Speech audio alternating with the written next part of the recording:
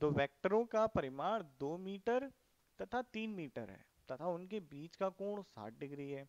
इन वेक्टरों का अदिश गुणनफल बताएँ। तो आप देखिए, a डॉट b होता है अदिश गुणनफल डॉट प्रोडक्ट भी कहते हैं, इसका वैल्यू होती है ए का परिमाण गुणा बी का परिमाण cos थीटा जहाँ पर थीटा इन दोनों वेक्टर्स के बीच का कोण होता है।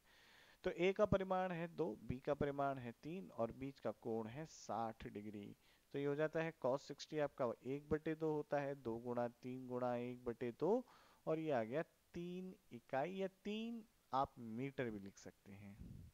अब पूछा है, इनके सदिश गुणनफल का परिमाण यानी कि a क्रॉस b का परिमाण बताना है। तो ये हो जाएगा a गुणा बी साइन थीटा और ये a की वैल्यू दो गुणा तीन साइन सिक्सटी की वैल्यू है रूट थ्री बाई टू अब टू से यहाँ टू कैंसिल तो ये हो गई थ्री रूट थ्री तो a क्रॉस b का जो परिमाण आता है, वो आ जाता है थ्री रूट थ्री मीटर यहाँ पर मीटर बच्चों स्क्वायर होगा, क्योंकि ए भी मीटर में है और बी भी मीटर में है.